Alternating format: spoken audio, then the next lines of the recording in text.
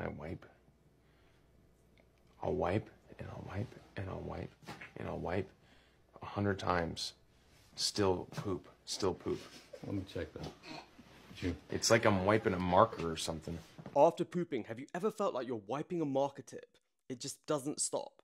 If so, watch this video because I'll give you some tips on how to fix it. Now, one of the most common causes for something like this is constipation. And you don't need to have been constipated over the last few weeks or months. It could simply be that you're more constipated based on what you've eaten or drunk in the last three or four days. Now, we need to rectify that, and we do so by increasing our fiber intake. So, you can eat more fruits and vegetables, and a supplement called psyllium husk can also be incredibly helpful. It's also important to drink more water because when we're constipated, it often means our stools are sitting in the bowels for too long and water gets drawn out of them. If we're dehydrated, then there won't be much water in the stools to begin with, making things much worse. Next, we want to reduce our risk of dehydration, so cut back on caffeine and alcohol. And doing all of these things should get your bowels moving properly, but if you notice a persistent change in your bowel habits that lasts more than three weeks, or if you see any blood in your stool, or if you feel any lumps down below, please, please, please go and see a doctor.